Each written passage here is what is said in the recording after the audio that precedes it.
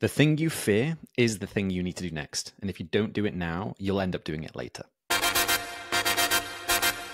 Something that I realized this week, I've been reflecting on. Um, I run a podcast with Tom called Don't Be a Doorstop. We've been running it for like three seasons, uh, 50 odd episodes. And I started that because I felt there was like a little bit of a kind of a, an itch of some sorts that I needed to get off my chest. Some of these um, kind of like category uh, like themes and, and categories and subject matters around entrepreneurship mindset um, kind of like emotional intelligence a whole load of stuff that i felt like i needed somewhere to to kind of get it out in the public and kind of document it to some degree. And i didn't do it solo even though i have done solo videos before. I didn't do it solo because i think i possibly like feared essentially starting something and figuring out how do I create now a thousand episodes, right? Um, so the big picture probably got to me a little bit. So I was like, what's the next best thing? And also I found it difficult to do, or not difficult, but like it's not the easiest thing doing pieces to camera straight away. Um, you kind of build up to it.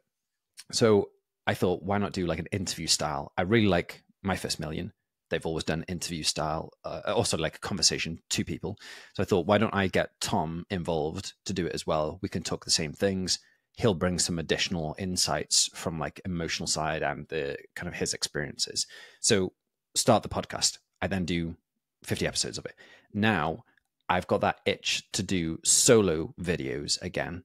And I think what I f- what I'm feeling is like a reflection. So super important important to have a function of self reflection in every move you do or every decision you come to. And I think I've realized that I essentially have put off doing solo videos for comfort, doing um, kind of like an interview or like a conversation two by two. However, I have had to come and do solo videos nonetheless. So have I just essentially because of fear or like a reluctancy, but let's just label it as fear, just for clarity's sake. Because of a fear of doing it solo, I've delayed to this moment and now I'm doing it solo. So, are there things in your life that one you're afraid of now that you're basically doing a plan B? Now, the plan B might be something completely obscure and not assistive to the main thread of your like vision or your purpose or or like what you really want to do um or it could be like quite close. So thankfully doing 50 odd episodes on a podcast is not wasteful. That is all adding to uh, my kind of content output generally. I've learned a bunch of good things in that process which is great. However wouldn't it have been better just to do solo videos from the off now, this is kind of like an innocent thing where there hasn't been any repercussions as such. However, if you're like um, a, a music artist, right, and you wanted to write your own songs and perform on on stage yourself, potentially being a backing singer for somebody else. Yes, cool, you'll learn the skills and you'll do all this stuff, but you're gonna have to at some point put your sta- uh, like stand on that stage yourself by yourself. At some point, that's going to have to happen. So why not do it earlier? So then you're essentially kind of like you've not quote unquote wasted time or like essentially delayed something. You've just done the the iteration that you've had in your mind that you've been afraid of. You've done that as the first iteration rather than built up, uh, build up, built up to that moment. So because I've just only recently essentially noticed this, I'm trying to find other areas in business or like product or like um, music stuff that I'm fearful of something. So, for example, like I, I feel like a little bit that I'm fearful of sending a, a mass emailer to all our artists that are on Insider to be like, hey, we've got this new thing going on or we've got this stuff and i'm fearful of doing that because if i say like hey so one feature that we added recently was ability to submit your songs for sync now, if I send an email out to uh, like a thousand plus people, I'm worried that one, like they'll complain or they'll have negative thing, or two, it'll now require me to do follow up work. So for some reason, I've been putting off that task, and it comes back to my first statement: the thing that you like fear is that is the thing you need to do. I knew I was I needed to do it. I was just fearing it.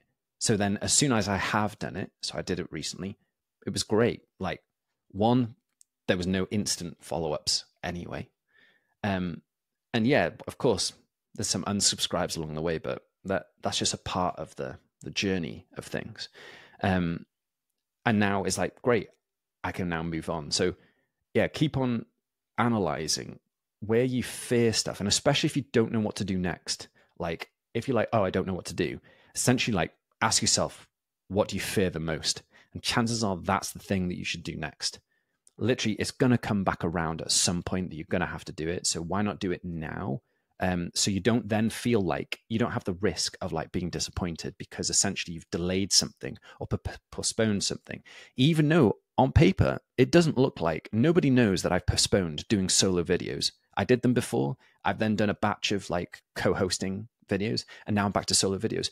Nobody knows, but I know I probably should have just done solo videos, and then in addition, then done the duo side. So thankfully, there's no like losers as such. But I'm like, ah, oh, I should just be careful that fear doesn't drive me into creating these alternative journeys um, that one could be drastically taking me away, or just like at worst de- delaying, right? Um, so yeah, that that's the thing that I needed to get off my chest, basically. I also have had conversations about how to be a good partner with someone um, when your partner has a lot of ambition. So that's going to be in my next video. So I'm just teeing it up now. But if you have any questions about like whether or not you're the ambitious partner and your partner is not ambitious, how do you deal with that? And then the flip side of like you are the one supporting the ambitious partner. I want to go, uh, go like deep into that. So my next video will be all about ambition and that dynamic of like relationally, how do you do all that stuff?